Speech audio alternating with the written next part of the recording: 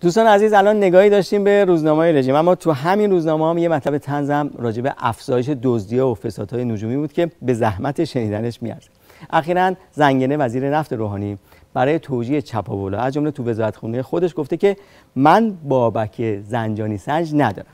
همین موضوع هم دستمایه تنز یکی از روزنامه های همبانی شده. روزنامه حکومتی آرمان ملی با عنوان بابک زنجانی سنج خود را فعال کنید از جمله نوشته بیژن زنگنه گفته بنده بابک زنجانی سنج ندارم. وقتی پای موضوعی به این مهمی به ضد آرمان باز شود ما تا شورش را در نیاوریم ولکن ماجرا نیستیم اصلا بابک زنجانی سنج چیست؟ سایزش چقدر است؟ توی جیب جا می شود یا عین دم و خروس می‌زند بیرون؟ چطور کار می کند؟ و به کجا بسته می شود؟ یا به عبارت بهتر محل نصبش کجاست؟ خود بابک زنجانی را میسنجد یا افراد شبیه او را با او مقایسه می کند بوغ می‌زند یا آژیر. تاریخ مصرف دارد.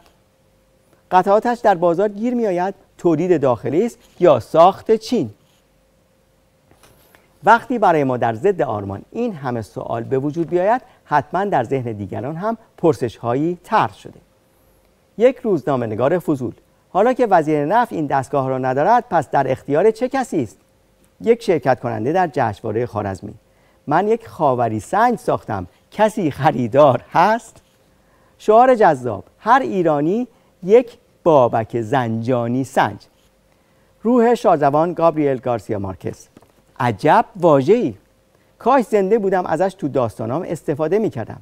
جون میده برای رئالیسم جادویی.